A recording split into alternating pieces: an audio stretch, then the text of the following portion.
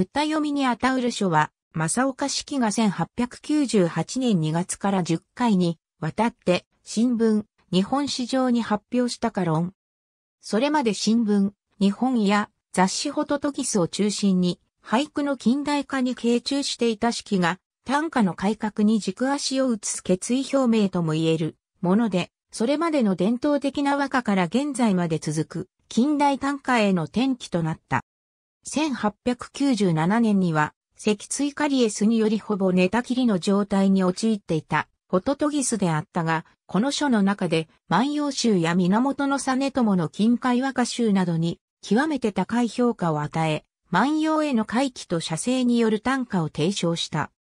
同時に、平安中期に成立して、以後は和歌の規範ともされていた古今集をくだらぬ集にて、優の功と罵倒し、古今集の選者であり36河川にも名を連ねる木、貫雪を下手な歌読みにてと酷評している。新古今和歌集については、やや優れたりとしつつも、戦者の藤原定家については、自分の歌にはろくなもの無のと評すなど、直線和歌集の作風には、否定的な考えであったことがわかる。